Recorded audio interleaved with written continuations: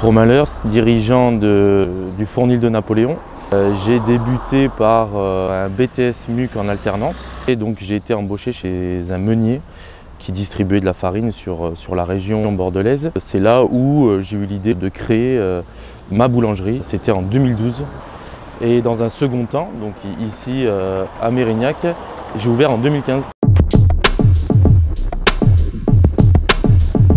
Alors du coup, le fournil de Napoléon, c'est né en 2018 parce qu'anciennement j'étais affilié au réseau Banet. C'est là où j'ai ouvert donc, euh, avec cette marque en 2012 et 2015.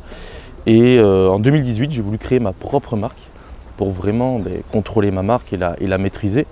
Et donc en cherchant un nom euh, ancien, tradition française. Donc Napoléon, ça sonnait très bien.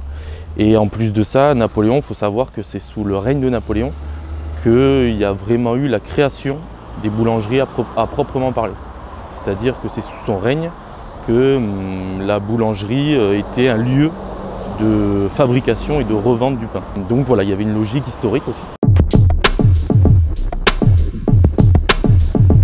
Il euh, faut savoir que nous on fabrique.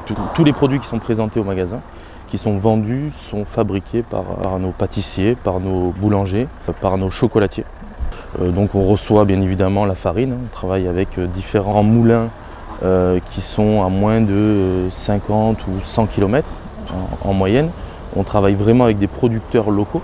Derrière, donc, on reçoit la farine, on fabrique, on, pétrit, on transforme certains produits, on fabrique, euh, on fabrique l'ensemble de nos produits.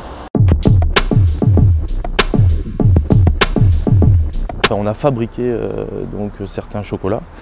Euh, après, on a, on a transformé notre chocolat sur une base de chocolat bio. Et derrière, on a fait différents sujets les classiques, euh, les, euh, ça va être œufs, euh, poules, et puis quelques, quelques sujets un peu plus élaborés.